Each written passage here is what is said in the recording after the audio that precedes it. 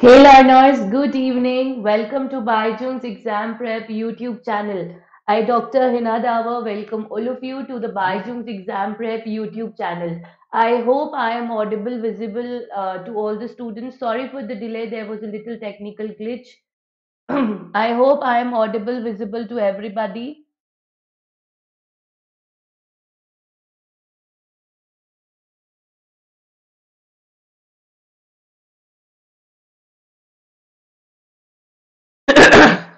Uh, so the new link is shared with everybody in the Telegram group. If in case your friends have not joined the session till yet, you can also share the link with them and ask them to join the session using the given link. Good evening, Mohammed, Ananya, Rashmi, Dr. Darshana, Subrat. Good evening, everybody. Welcome to Baijung's Exam Prep YouTube channel. I hope the BBP is perfectly fine now. I'm audible, visible. You can hear me, see me. Good evening, everyone. Good evening, Sai Pallavi, Saiba, Rajkumari, Chaitali, Indu. Everybody, welcome to the session. I hope I am audible, visible, all okay now. Great, great, great, great, everybody. Come on, quickly join for the session, everyone. And please ask your friends to join the session using the link I have just shared with you people in the Telegram. So ask them to join using that link for the session. Great. okay. So yes, I can see everybody is joining now. Let us move towards the today's session. So here we go. So the ones who appeared for the WB set, how was your exam? The students who have appeared for the WB set, how was your exam, everybody?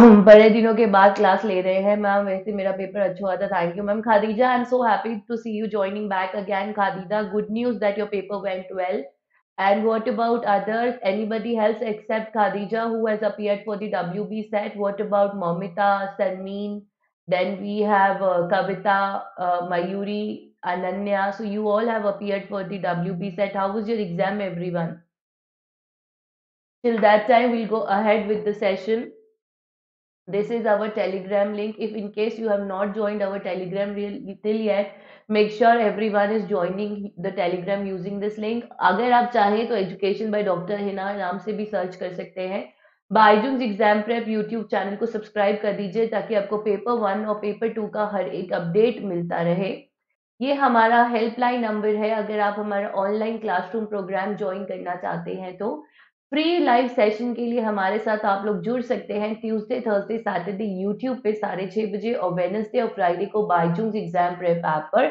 six thirty P M yes तो ये कुछ important information थी जो हम चाहते हैं कि आप सभी लोगों तक पहुँच जाए because it is very useful कि किस तरह से आपको हमारे साथ रहना है always and forever connected clear students तो चले, आज का करते हैं सेशन स्टार्ट क्विकली अपने बाकी बचे हुए दोस्तों को भी बुला लीजिए जो अभी तक सेशन में नहीं पहुँचे हैं।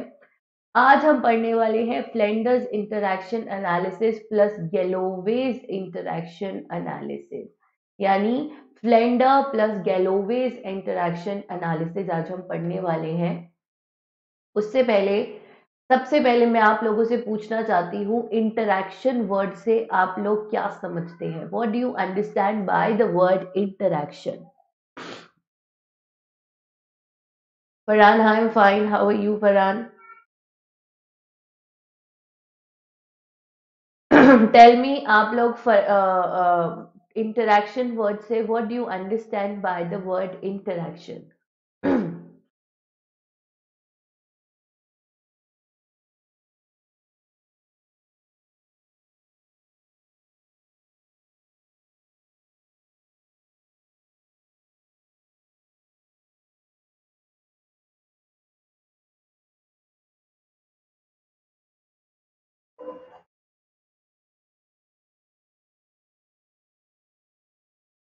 very good very good very good very good very good. तो जब हम बात करते हैं इंटरैक्शन की, इंटरैक्शन का मतलब होता है एक्सचेंज ऑफ़ इंफॉर्मेशन। तो इंटरैक्शन का मतलब कुछ भी नहीं है, it is exchange of information. जहाँ पर आप यूज़ करते हैं, आप बातचीत करते हैं, आप कम्युनिकेट करते हैं, यानी कम्युनिकेशन, एक्सचेंज ऑफ़ इंफॉर्मेशन को आप क्या कहते हैं? इंटरैक्शन। यानी दो से ज़्यादा लोग होते हैं, दो या दो से ज़्यादा लोग, जो कि आपकी इंटरपर्सनल स्किल्स पे फोकस करता है। और जब हम टीचिंग लर्निंग की बात करते हैं, यानी कि हम एजुकेशन की बात करते हैं तो एजुकेशन के अंदर इंटरैक्शन किन के बीच में होता है? Interaction is between who all बताइए, अगर हम एजुकेशन की बात करते हैं तो इंटरैक्शन किसके बीच में होता है?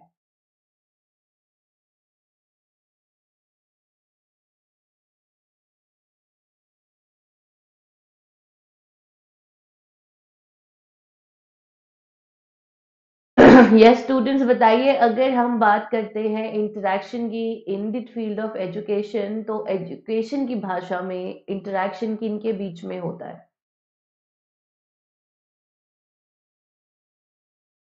Very good very good very good students अगर हम एजुकेशन की बात करते हैं तो interaction is between the teacher and the student यानी इंटरेक्शन एनालिसिस क्या होता है? जब आप टीचर और स्टूडेंट के बीच का कम्युनिकेशन टीचर और स्टूडेंट का जो कम्युनिकेशन है, यानी कि क्लासरूम में टीचर और स्टूडेंट के बीच में किस तरह का एक्सचेंज हो रहा है कम्युनिकेशन हो रहा है, जब आप उसको क्रिटिकली स्टडी करते हो क्रिटिकली स्टडी करते हो then we call it as interaction analysis यानी ये बहुत बड़ा टर्म है, ये बहुत ही इंपॉर्टेंट डेफिनेशन है जो कि एग्ज़ाम में आती है। कि इंटरेक्शन एनालिसिस होता क्या है? Specially in the term field of education यानी कि टीचिंग लर्निंग प्रोसेस को टीचिंग लर्निंग प्रोसेस जो कि टीचर और स्टूडेंट के बीच में होता है, जब आप उसको क्रिटिकली क्रिटिकली एग्जामिन करते हो। क्रिटिकली एनालाइज करते हो क्रिटिकली एग्जामिन करते हो, उसे बोला जाता है इंटरैक्शन एनालिसिस यानी कि मैसेज को एनकोड एंड डिकोड करना। एनकोड करना मतलब आपने सही ढंग से अपने मैसेज को कन्वे किया है और डिकोड करना, यानी जो आपके मैसेज का करेक्ट मीनिंग था, क्या वो रिसीवर करेक्ट मीनिंग को समझ पाया है। I hope the definition of the interaction analysis is clear to everybody yes तो फटाफट से थम्स अप दिखा दो क्विकली जल्दी से थम्स अप दिखा दो सभी students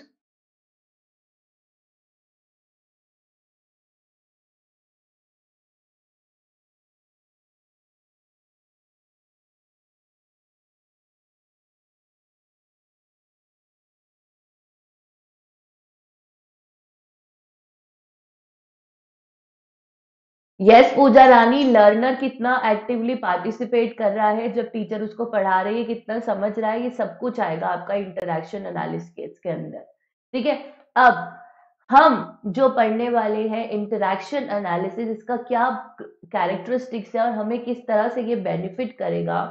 देखो, अगर आप अपनी क्लासरूम डिलीवरी को हर बार स्टडी करते हो, यानी कि मान लीजिए मैं अभी आप लोगों को पढ़ा रही हूँ, इसके बाद मैं अगर अपनी रिकॉर्डिंग को चेक करूँगी तो ये मेरे लिए क्यों यूजफुल रहेगा? बताओ। क्योंकि ये मुझे हेल्प करेगा ये देखने में कि मैंने कहाँ कहाँ मिस्टेक किया था और कहाँ मुझे इम्प्रूव करना चाहिए। और साथ में ये भी बताएगा कि आप जो मेरे प्यारे प्यारे स्टूडेंट्स हैं, ये क्लास में कितने एक्टिव थे और इनको कितना क्लियरली हर कॉन्सेप्ट समझ आ रहा है। दैट मीन्स आप अपने क्लासरूम इंटरेक्शन प्रोसेस को और ज़्यादा इफ़ेक्टिव कर सकते हैं, और ज़्यादा बेटर कर सकते हैं, और ज़्यादा इम्प्रूव कर सकते हैं। प्लस ये आपके स्टूडेंट्स का इंटरेक्शन बढ़ाता है पार्टिसिपेशन कैसे? मान लीजिए, आप लेक्चर मेथड का प्रयोग कर रहे हो, यानी कि टीचर ही क्लास में एक्टिव है। बच्चे का पार्टिसिपेशन हो जाता है ज़ीरो या बहुत ही कम। तो आप क्या करेंगे? आप नेक्स्ट टाइम ये नोटिस कर सकते हैं कि बच्चे बहुत ज़्यादा पैसिव थे तो क्यों ना इस बार लेक्चर के साथ साथ में क्वेश्चन आंसर्स भी यूज़ करूँ। ताकि बच्चे क्लास में और ज़्यादा इंटरेक्टिव और हमें ये समझ आता रहे कि वो कितने ज़्यादा इंटरेस्टेड है आपको समझने में, उनको कितना समझ भी आ रहा है। क्लियर टू एवरीबॉडी सो क्या होता है? जब भी आप अपनी रिकॉर्डिंग को देखते हैं तो आपको ये समझ आता है कि मेरे को और कहाँ इम्प्रूव करना चाहिए जो आपको प्रोग्रेस की डायरेक्शन में ले जाता है। एंड ऑल्सो आपके स्टूडेंट्स के पार्टिसिपेशन को और ज़्यादा बेटर और और ज़्यादा इंक्रीज करने में हेल्प करता है। ठीक है? आज हम सबसे पहले पढ़ेंगे फ्लेंडर्स का interaction analysis that means it is given by home it is given by Flander तो उनका पूरा नाम था Ned A Flander okay so this is very important इस पे से क्वेश्चन एग्ज़ाम में हंड्रेड परसेंट आता है hundred percent So it was given by whom? It was given by Ned A. Flender. Clear? Now, खास बात क्या है ये सिर्फ़ वर्बल कम्युनिकेशन पर फोकस करता है it focuses only and only on verbal verbal मतलब आपके और टीचर के बीच में क्लास में जो वर्बल कम्युनिकेशन है, यानी कि जो बोल कर है, जो आप बोल रहे हैं, जो आपके वोकेबलरी यानी जो आपका माउथ का प्रयोग हो रहा है, मौखिक, जहाँ पे आप बोल रहे हैं, उसको यूज़ करता है it is not concern with the non verbal तो ये बहुत इंपॉर्टेंट पॉइंट है जो आपको ज़रूर याद रखना है। And this complete interaction analysis is divided into three categories तो आपकी थ्री कैटेगरीज कौन सी हैं? पहली है टीचर टॉक दूसरी है स्टूडेंट टॉक और तीसरी है साइलेंस तो first is teacher talk second is student talk third is silence अब टीचर टॉक का क्या मीनिंग है? टीचर टॉक का मीनिंग है, जहाँ पे टीचर का रोल है एक्टिव स्टूडेंट टॉक का मीनिंग है जहाँ पे स्टूडेंट का रोल है एक्टिव और साइलेंस का मतलब क्या होता है? चुप.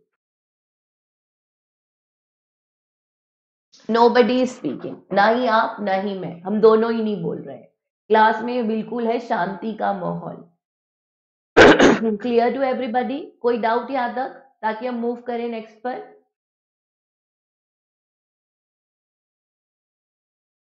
रेडी है सब लोग आगे बढ़ने के लिए?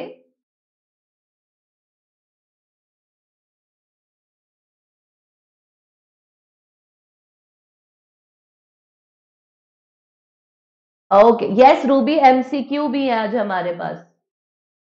अब अगर हम टीचर टॉक की बात करते हैं तो ये फर्दर सब डिवाइडेड है दो और पार्ट्स में। एक है डायरेक्ट और एक है इनडायरेक्ट एक है डायरेक्ट और एक है इनडायरेक्ट क्या आप देख पा रहे हैं? स्क्रीन पे लिखा है डायरेक्ट और इनडायरेक्ट तो डायरेक्ट में है आपके पास टोटल थ्री कैटेगरीज और इनडायरेक्ट में है टोटल फोर कैटेगरीज अब क्या आप मुझे एक्सप्लेन कर सकते हो? What is the meaning of the word indirect and direct मैंने आपको ये तो बता दिया कि टीचर टॉक का मतलब होता है जहाँ टीचर एक्टिव रहता है। ये तो आप सबको पता है। टेन कैटेगरीज है, ये भी आप सबको पता है। बट क्या आपको ये पता है कि what do you mean by the word direct and indirect ये बताइए मुझे। जल्दी से मुझे ये बताइए कि डायरेक्ट और इनडायरेक्ट का मतलब क्या होता है?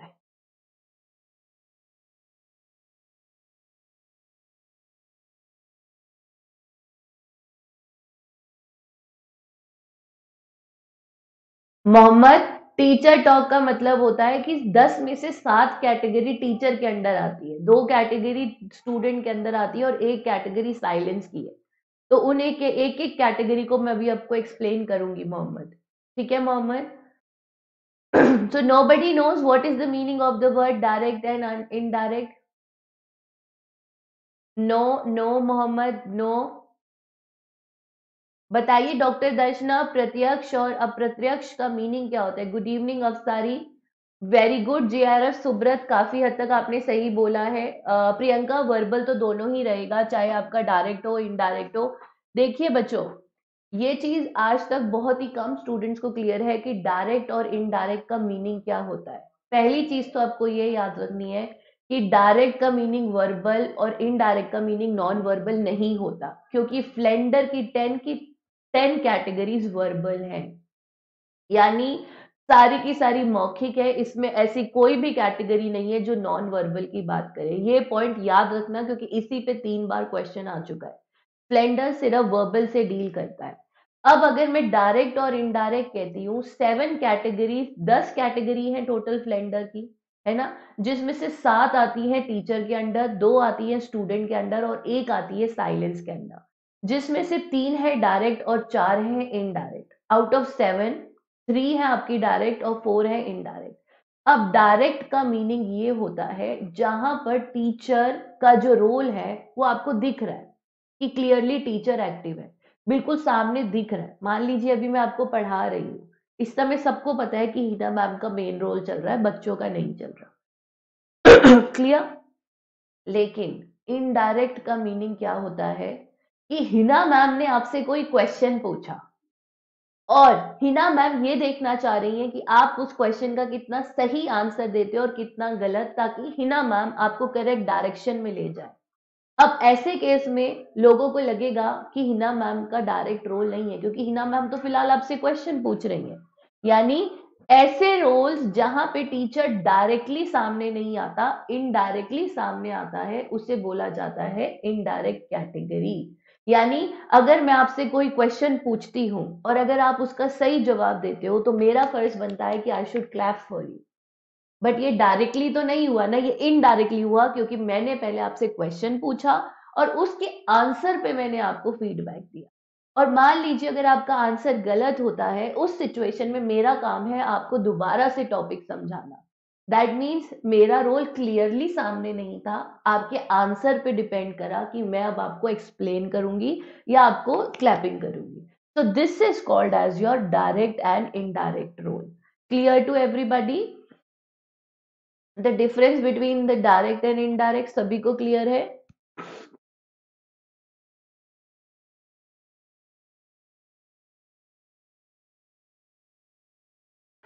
अब मैं आपसे चाहूँगी कि आप सभी लोग अपने पेन और कॉपी को रेडी रखिए, क्योंकि अब मैं आपको डायरेक्ट और इनडायरेक्ट की कुछ कैटेगरीज बताने वाली हूँ, जो कि मैं चाहती हूँ आप अपने नोट्स में अभी के अभी नोट डाउन कर ले। तो keep your pen and copy right now ready with you तो पहले चलते हैं हम टूवर्ड्स योर इनडायरेक्ट कैटेगरीज जो कि है चार। There are four indirect indirect के अंदर कौन सी फोर कैटेगरीज आती है? पहला तो है आस्किंग क्वेश्चंस यानी मैं आपसे सवाल जवाब कर रही हूँ, जिसमें मेरा रोल इनडायरेक्ट रहेगा, क्योंकि आपके आंसर पे डिपेंड करेगा कि मैं आगे कैसे फॉरवर्ड लेके जाती हूँ। तो पहला है asking question which is a part of your indirect ठीक है? दूसरा है accepting the ideas of the students यानी एक्सेप्ट आइडियाज़ ऑफ़ स्टूडेंट्स यानी मैं अगर आप मेरे को कोई सजेशन देते हैं, मैं उस सजेशन पे कितना पॉजिटिवली रिएक्ट करती हूँ कितना नेगेटिवली आपने मुझे कोई सजेशन दिया और मैंने उसको इग्नोर कर दिया, या मैंने उस सजेशन पे आपके साथ डिस्कशन करी या उसकी एक्सेप्ट करी? ये भी होता है इनडायरेक्ट थर्ड आता है आपका प्रेज और इनकरेजमेंट यानी मोटिवेट करती हूँ। आपको प्रेस करना और आपको इनकरेज करना, आपकी तारीफ़ करना, आपको प्रोत्साहित करना। And the last one is accept feelings accept feelings का क्या मतलब होता है कि मैं आपकी भावनाओं की कितनी कद्र करती हूँ। यानी मैं, जब आप मुझे कहते हो, मैम, मेरा पेपर अच्छा नहीं हुआ। उस समय मैं आप पे हंसती हूँ या आपको समझाती हूँ। दैट मीन्स आपको मैं कितने अच्छे से आपकी भावनाओं की कद्र कर रही हूँ। तो आपकी भावनाओं की कद्र करना is called as your accept feelings clear to everybody कोई डाउट किसी को यहाँ तक? Any doubt students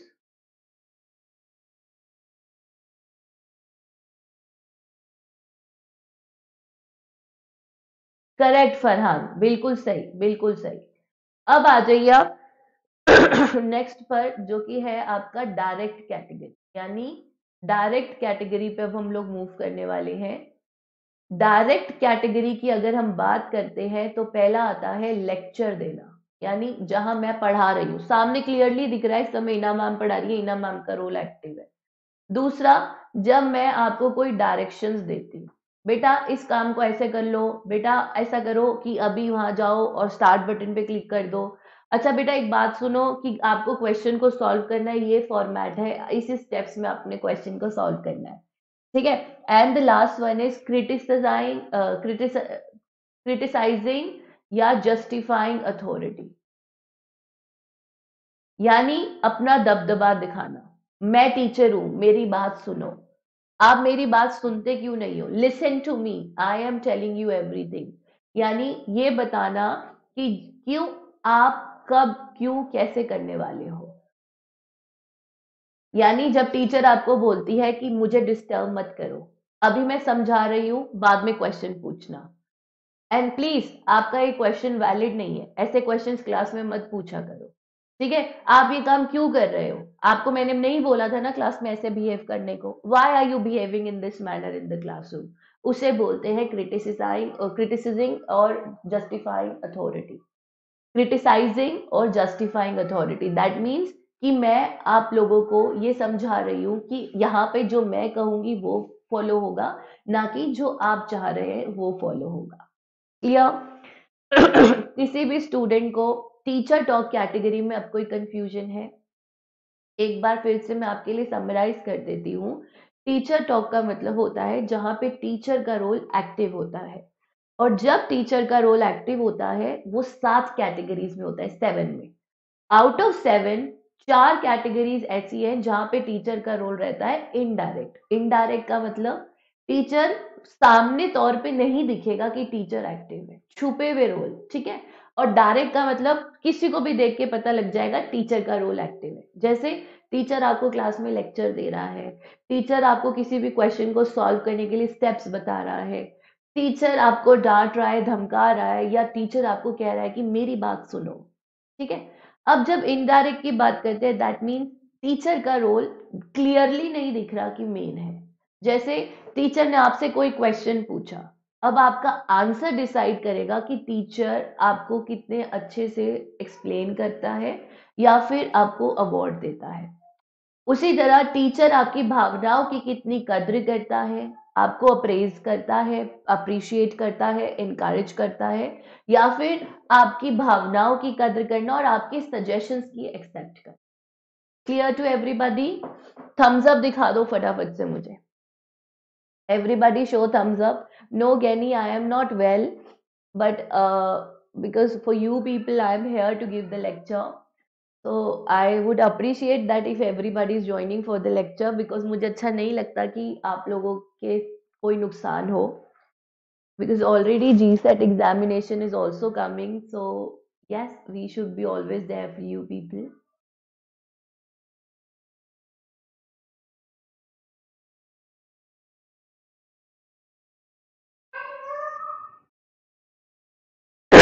चलिए, अब आगे बढ़ते हैं टूवर्ड्स दी स्टूडेंट्स कैटेगरी अब आपको ये समझ आ चुका है कि स्टूडेंट टॉक क्या होता है, जहाँ पे स्टूडेंट का रोल क्या होता है मेन रोल जहाँ पे मेन रोल किसका होता है स्टूडेंट का.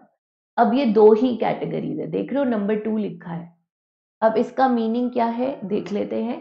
तो पहली जो कैटेगरी आती है, वो आता है pupil talk response and pupil talk initiation response and the second one is initiation response का मतलब होता है कि जब आपसे टीचर कोई क्वेश्चन पूछता है तो आप उसका कितने अच्छे से आंसर देते हो। तो रिस्पॉन्स मीन्स जब मैम ने आपसे कोई बात पूछी, आप उसका कितने अच्छे से जवाब दे रहे हैं। That is called as your response whenever teacher is talking to you how well you are giving the response और इनिशिएशन का मतलब होता है इनिशिएट करना।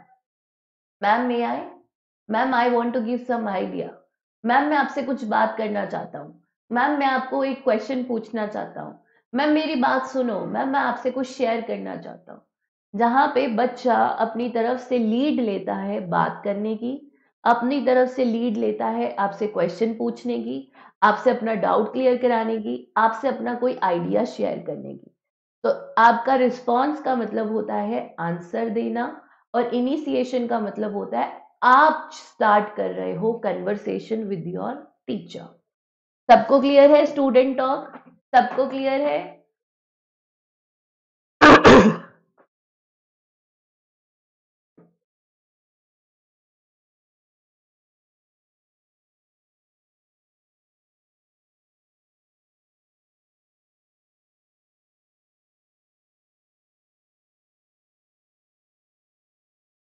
Very good Farhan very good very good very good very good अब जो last category है आपकी वो है साइलेंस और कंफ्यूजन यानी टीचर पढ़ाते पढ़ाते पॉज देता है आप लोगों को।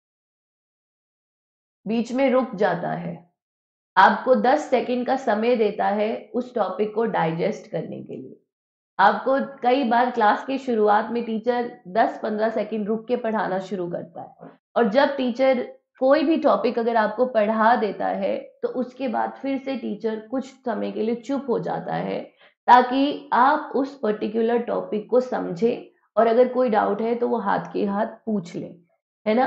तो उसे कहा जाता है कंफ्यूजन या साइलेंस साइलेंस कब होता है? जब टीचर सेशन को स्टार्ट करता है या फिर टीचर सेशन को एंड करने वाला होता है, या फिर टीचर आपको टेन सेकेंड्स देता है टॉपिक को डाइजेस्ट करने के लिए अंडरस्टैंड करने के लिए और आपको समय दिया जाता है कोई डाउट या क्वेश्चन पूछने के लिए, ठीक है? या फिर कंफ्यूजन अगर किसी बच्चे को कुछ समझ ही नहीं आया है, वो उस समय क्या हो जाएगा? ही विल बी साइलेंट वो ऐसे बैठ जाएगा। That means he is not a उसके फेस से आपको समझ आ जाएगा कि उसको कुछ समझ नहीं आ रहा है, वो कंफ्यूज है। उस केस में भी आपकी कैटेगरी नंबर रहता है टेंथ क्लियर तो अगर अभी आपने देखा है first seven categories one two three four five six seven numbers जो है, आप यूज़ करते हो टीचर टॉक के लिए। उसी तरह आप एट नंबर यूज़ करते हो फॉर योर इनिसी रिस्पॉन्स कैटेगरी यानी स्टूडेंट में जो रिस्पॉन्स होता है, वो होता है कैटेगरी नंबर एट और इनिशिएशन होता है कैटेगरी नंबर नाइन और टेंथ कैटेगरी कौन सी होती है? साइलेंस या कंफ्यूजन अब, जो भी इवेल्युएटर क्लास में जाएगा ऑब्जर्वर वो देखेगा कि टीचर ने बच्चों से पूछा है क्वेश्चन यानी एक टीचर ने एक बच्चे से पूछा है कोई भी क्वेश्चन ठीक है? तो क्वेश्चन पूछने का नंबर है फोर्थ यानी आस्किंग क्वेश्चंस इज़ नंबर फोर्थ ठीक है? उसी तरह से अगर टीचर क्लास में लेक्चर दे रहा है तो वो है नंबर फाइव अब मान लीजिए एक ऑब्जर्वर क्लास में गया और उसने देखा टीचर लेक्चर दे रहा है तो उसने लिख दिया नंबर फाइव फिर उसने देखा कि टीचर ने क्वेश्चन पूछा है, उसने लिख दिया नंबर फोर क्योंकि नंबर फोर किसके लिए? आस्किंग क्वेश्चन फिर उसने देखा कि उस क्वेश्चन का बच्चे ने रिस्पॉन्स दिया है दैट इज़ नंबर एट ठीक है?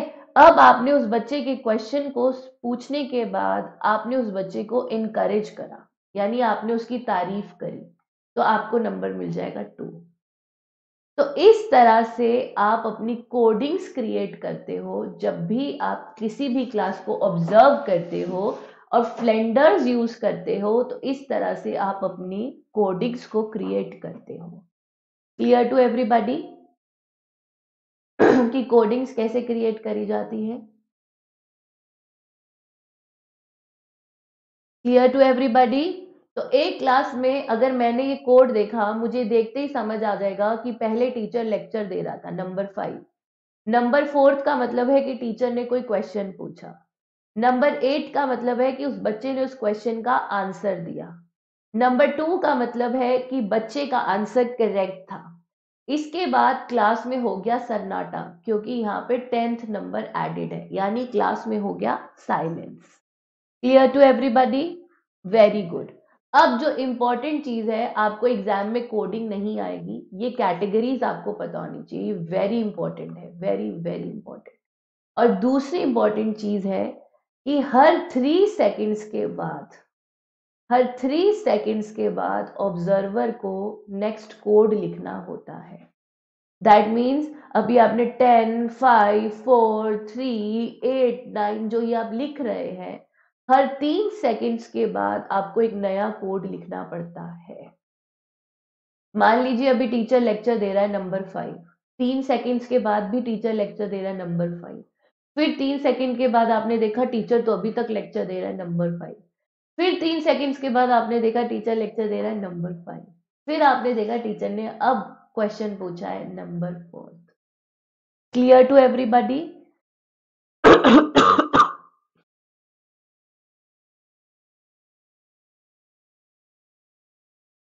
very good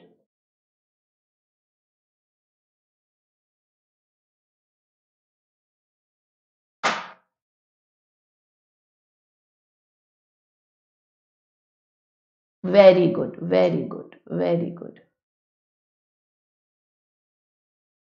now अब इसके एडवांटेजेस क्या है? ऑब्वियसली आपका इवेल्युएटर यहाँ पर कोई भी चीटिंग नहीं कर सकता दैट मीन्स आपको काफ़ी ऑब्जेक्टिव टाइप ऑफ़ असेसमेंट मिलेगा। यानी ये कोडिंग्स में नहीं लिख सकता 5.1 या 5.8 नहीं ना? जो भी एग्जैक्ट कोड है आपको वही दिया जाएगा। यानी बिल्कुल करेक्ट इंफॉर्मेशन आपको मिलेगा। No biasness no biasness no cheating बहुत ही ऑथेंटिक रिज़ल्ट आपको मिलेगा। ये एक प्रॉपर फीडबैक देगा। और देखिए, अगर मान लीजिए आपके असेसमेंट कोडिंग्स के अंदर, ये जो कोड्स आपके पास आते हैं, उसमें अगर एट और नाइन का यूज़ कम होता है एट और नाइन का यूज़ लेस होता है दैट मीन्स वो पूरी क्लास में सिर्फ़ टीचर का रोल एक्टिव था। अगर मान लीजिए वन से लेकर सेवन तक के कोड्स ज़्यादा यूज़ हुए हैं दैट मीन्स उस क्लास में बच्चों का रोल बहुत ही कम था। यानी हमें इम्प्रूव करने की ज़रूरत है, हमें क्लास में बच्चों के रोल पे फोकस करने की बहुत ज़्यादा ज़रूरत है। क्लियर टू एवरीबॉडी यानी आपको कोडिंग्स देखते ही पता लग जाएगा कि आपकी क्लास में टीचर एक्टिव था या फिर स्टूडेंट एक्टिव था। क्लियर तो ये बहुत ही ऑब्जेक्टिव और रिलायबल टूल है, जहाँ पे no biasness and no cheating clear to everybody ये आपको आपकी क्लास में किस तरह का इंटरेक्शन है, किस तरह का एक्सचेंज ऑफ़ इंफॉर्मेशन है, जिसको आप सोशियो इमोशनल कहते हो। सोशियो इमोशनल क्यों? सोशियो वर्ड इसलिए यूज़ किया जाता है क्योंकि एक्सचेंज ऑफ़ इंफॉर्मेशन है। आप टीचर से बात कर रहे हो टीचर आपसे बात कर रहा है। ग्रुप है पूरा। देर इज़ अ ग्रुप जिसमें आप हो, आपके फ्रेंड्स भी है, जो आपकी क्लास हो गई स्टूडेंट्स और टीचर भी है। इमोशनल क्यों? क्योंकि टीचर आपकी फीलिंग्स को कितना एक्सेप्ट करता है या रिजेक्ट करता है, ये भी इस टूल में देखा जाता है। That how much teacher is appreciating you or rejecting you is also considered in this tool clear to everyone? अब इसके लिमिटेशंस क्या है? भैया, बहुत टाइम लगता है। आप सोचो, अगर एक क्लास एक घंटे की है, एक घंटे में कितने मिनट्स होते हैं? सिक्सटी मिनट्स और वन मिनट में कितने सेकंड्स होते हैं? Sixty seconds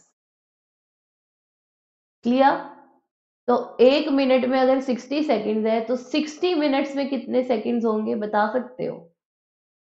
sixty into sixty, यानी three six double zero seconds अब आप थ्री सिक्स डबल ज़ीरो को डिवाइड कर दो थ्री सेकेंड से, क्योंकि हर थ्री सेकेंड्स के बाद आपको कोड देना है, यानी वन टू डबल ज़ीरो मान लो अगर आपकी क्लास एक घंटे की है तो आपको बारह सौ कोड्स देने पड़ेंगे। समझे बात को बेटा जी? अगर आपकी एक क्लास एक घंटे की है, एक घंटा यानी कि साठ मिनट साठ मिनट, यानी कि साठ second. One minute sixty second, three hundred, three thousand six hundred second. यानी बारह सौ कोड्स कौन दे सकता है भाई? तो बहुत ज़्यादा टाइम कंज्यूमिंग है और कोई भी ट्रेंड इंसान ही इसको इवेल्युएट कर सकता है। जिसको टेन कैटेगरीज की कंप्लीट नॉलेज है only that person can use it और दूसरा पॉइंट क्या कह रहा है कि प्यूपल टॉक को बहुत कम पार्ट दिया है। क्यों? क्योंकि टीचर के लिए तो सेवन कैटेगरीज है और बच्चे के लिए सिर्फ़ दो कैटेगरीज है। देख रहे हो? डबल ट्रिपल से भी ज़्यादा का फ़र्क है। टीचर के लिए सेवन और बच्चे के लिए सिर्फ़ टू कैटेगरीज तो ये भी एक ड्रॉबैक है। क्लियर टू एवरीबॉडी तो अब चले क्विज की तरफ़। क्या आप सब लोग तैयार हैं क्विज के लिए?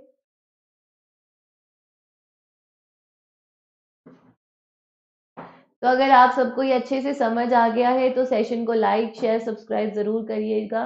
Please quickly like the session यानी रायसा ये तो एग्ज़ाम्पल था बेटा थर्टी सिक्स हंड्रेड का कि अगर आपके एक घंटे में three six double zero seconds होते हैं, यानी हर तीन सेकेंड्स के बाद अगर आप एक कोड दे रहे हो तो यानी एक घंटे की क्लास में आपको ट्वेल्व हंड्रेड कोड्स देने पड़ेंगे। यानी वो चीज़ एक्सप्लेन करिए एग्ज़ाम्पल दिया है।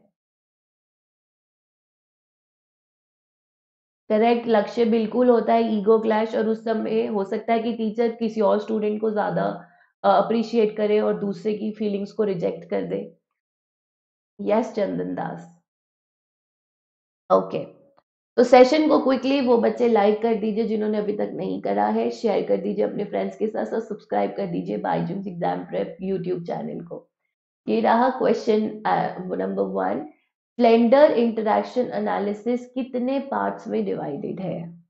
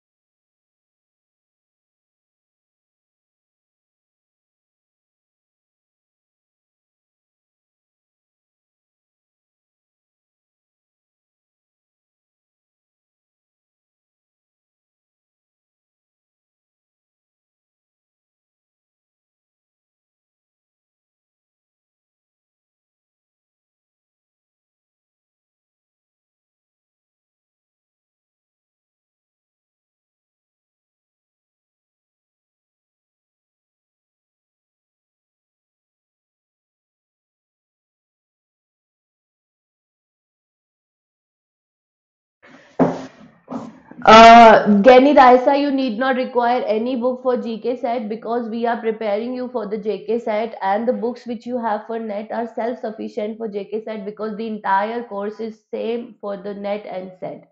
So Gani need not worry, we will provide you with everything. So the correct answer for this question is option number D. यानी कि teacher talk seven student talk two plus silence की one comes out equal to ten Next question teacher talk has how many categories teacher talk की total कितनी categories है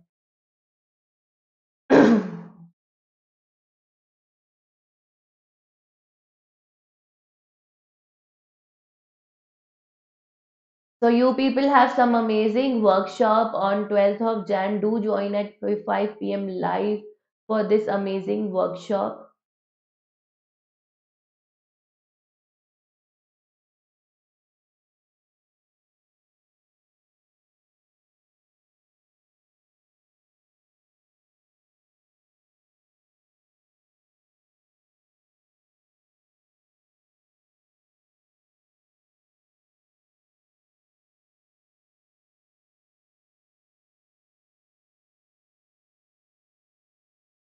Very good so the correct answer for this question is seven categories जिसमें से four है आपकी indirect और three आपकी direct categories correct answer next question is student talk has three categories ये बात सच है या गलत है या आपको नहीं पता है?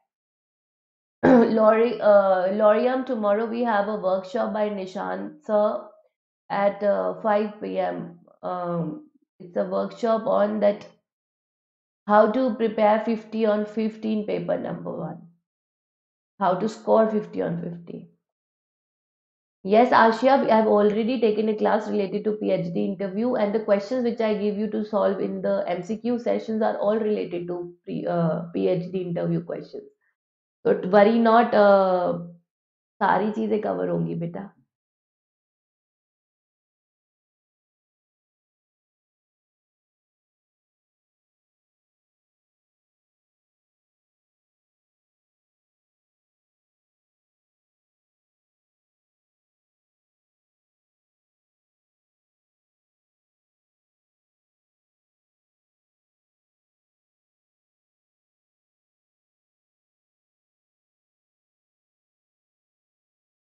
Lakshya where are you going बेटा correct answer by all of you that it's the first statement because for students we have to that is response and initiation next question asking question comes under dash influence of teacher talk आपको ये बताना है कि asking question कौन सी category में आता है teacher talk के?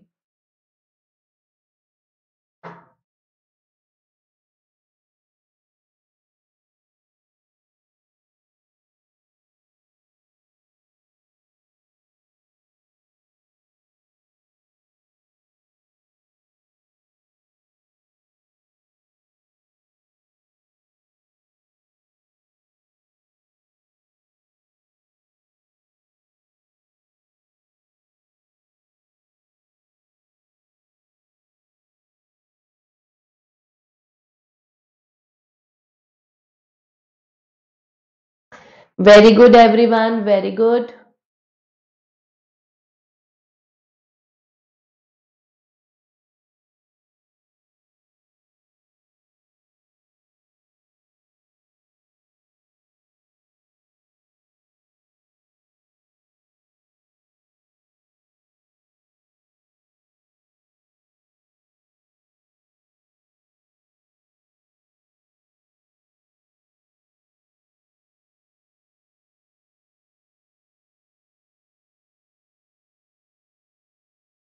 Very good Mamta very good very good तो चलते हैं इस क्वेश्चन के करेक्ट आंसर पर. ऑब्वियसली आस्किंग क्वेश्चन क्या है? ये आपका इनडायरेक्ट कैटेगरी है क्योंकि बच्चे के आंसर पे डिपेंड करेगा कि, कि टीचर कितना डायरेक्ट रोल प्ले करेगा. So basically asking question is indirect because देखने से तो लगेगा बच्चे का answer is playing the direct role but exactly it is the role of the teacher that will come in to being जब बच्चा किसी भी क्वेश्चन का आंसर देता है. Next is category 10 of FIAS correspond to what?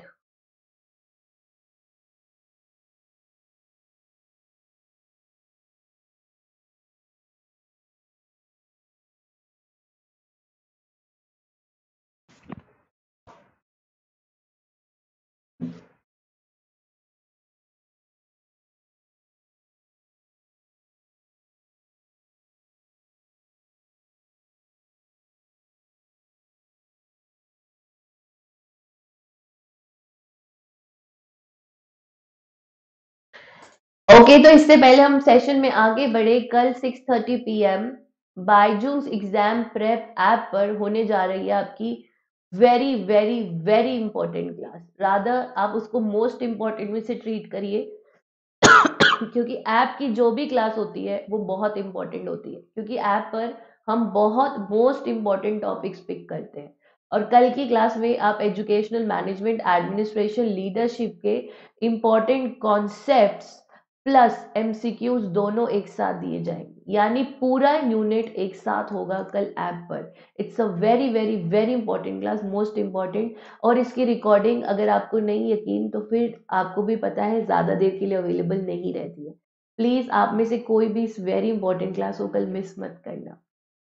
तो category ten क्या है? Category ten is silence and confusion both यानी हमारा correct answer is option number C, यानी जब हम चुप होते हैं या जब हमें कुछ समझ नहीं आता है। अब, आगे बढ़ने से पहले एक चीज़ समझ लो। गैलोवे और फ्लेंडर में क्या डिफरेंस है? फ्लेंडर सिर्फ़ वर्बल को इंपॉर्टेंस देता है। जो आपका गैलोवे है, इसमें ट्वेंटी कैटेगरीज होती है, जैसे फ्लेंडर में टेन होती है। इसमें ट्वेंटी होती है टेन वर्बल और टेन नॉन वर्बल यानी Galloway verbal plus non verbal दोनों को इंपॉर्टेंस दे वर्बल सेम है as it is as Flanders non verbal के, लेकिन टेन अलग पार्ट्स हैं।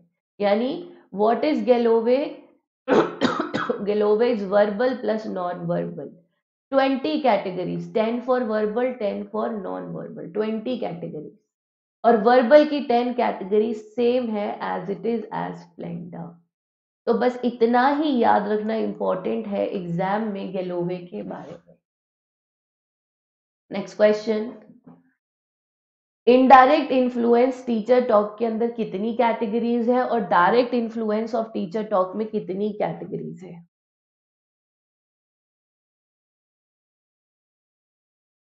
Sai Pallavi because student response तो टीचर के क्वेश्चन को देगा ना? समझे बात को? तो टीचर का क्वेश्चन डिसाइड करेगा कि बच्चा रिस्पॉन्स कितना देता है। ये तो टीचर के हाथ में है कि वो क्वेश्चन किस तरह का पूछता है, जहाँ पे वो बच्चे से ज़्यादा से ज़्यादा निकलवा पाए। कई बार टीचर का क्वेश्चन ही इतना स्ट्रांग नहीं होता है कि बच्चा आंसर करे। तो क्वेश्चन की स्ट्रेंथ डिसाइड करेगा कि आपका आंसर कैसा आएगा और कितना इलेबोरेटिव आएगा। यानी रोल किसका मेन हुआ? टीचर का ना? कि क्वेश्चन कितना स्ट्रांग आपको दिया जा रहा है। Clear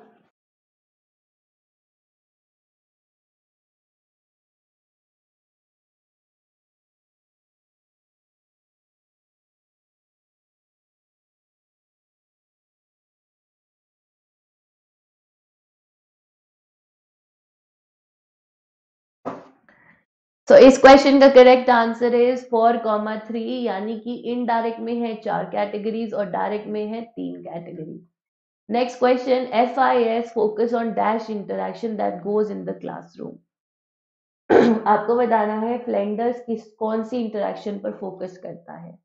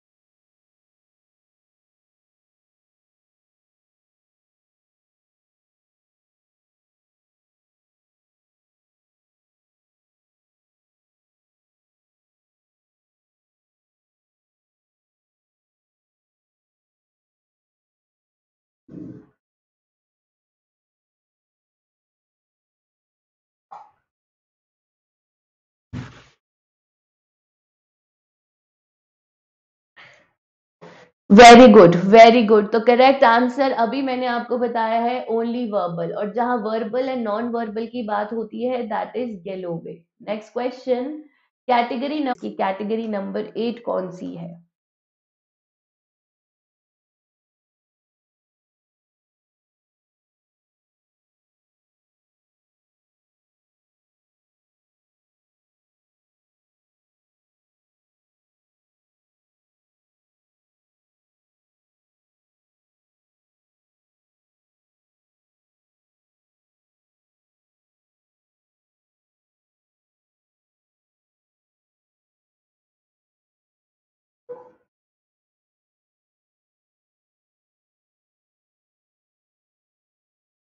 Very good very good very good तो कैटेगरी नंबर एट है स्टूडेंट रिस्पॉन्स और कैटेगरी नंबर नाइन्थ है स्टूडेंट इनिशिएशन आपको बताना है correct sequence of the steps तो पहला है construction of matrix encoding decoding या फिर इंटरप्रिटेशन तो आपको बताना है correct steps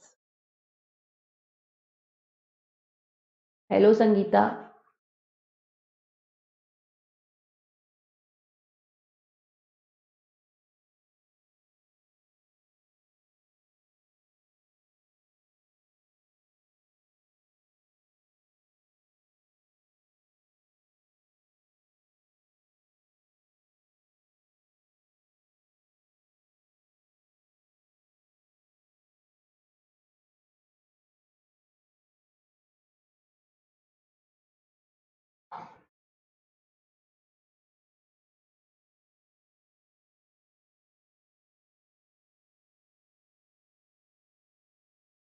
Okay, so the correct answer for this question is option number D 2314.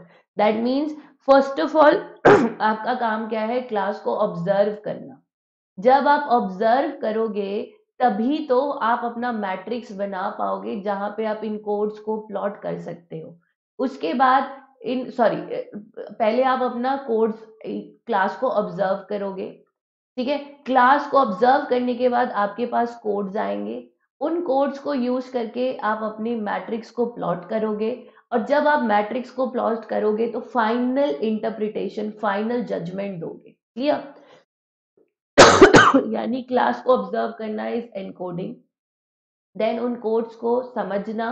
बाद आप अपने कोड्स को मैट्रिक्स में डालोगे। That is step number three construction and finally आप डेटा को इंटरप्रेट करोगे। Clear so with this, we come to the end of the session. कल 30 pm हम लोग मिलेंगे Byju's exam prep app पर। ऐप पर मिलेंगे, जो कि है आपका very very very important session most important तो डू ज्वाइन और रिकॉर्डिंग अवेलेबल नहीं रहता है। Educational administration management and leadership के important topics plus MCQ share किए जाएँगे। तो it's very very important session most important को सेशन को कल मिस मत कीजिएगा। Yes Shobha W B SET का आंसर की थर्सडे को लाया जाएगा। तो थर्सडे को स्टूडेंट्स हम W B SET exam analysis करेंगे आप लोगों के लिए। तो थर्सडे को आप साढ़े छः बजे जब आएँगे, तब हम डब्ल्यू बी सेट का एग्ज़ाम एनालिसिस करेंगे। Take care bye students good evening